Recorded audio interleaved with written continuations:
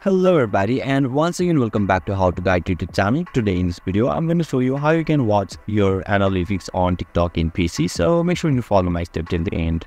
First thing first, I assume that you already have an account on TikTok and already logged it. And now right after that you'll be able to see the profile page.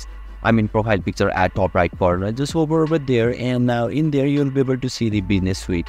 You simply need to click on it and you will be redirected to the suite page where you can see the analytics over here. So once you click on it, then just simply click on overview and you'll be able to see or watch your analytics successfully on TikTok. So basically this is how you can watch your analytics on TikTok in PC. And if you still encounter any issue during this process, to leave a comment and I'll be happy to assist you.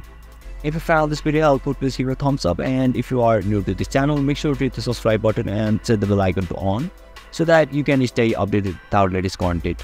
Thank you for watching and I'll see you next time.